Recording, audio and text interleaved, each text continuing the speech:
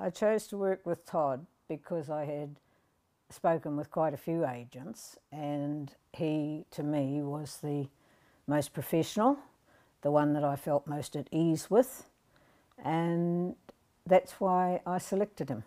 Right, working with Todd turned out to be what I had expected it to be.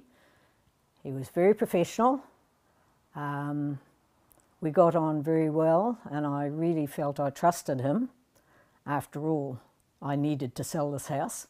I thought his marketing was excellent because there was a lot of things that I didn't really understand about selling a house.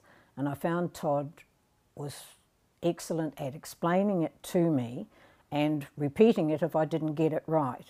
And that is a huge thing when you're trying to sell a house because you're generally a little bit nervous anyway. I would recommend Todd to anybody. And as, as a matter of fact, I already have to a friend of mine. And um, I trust him. I found him very professional and we formed a very nice friendship which I hope will last for a long time.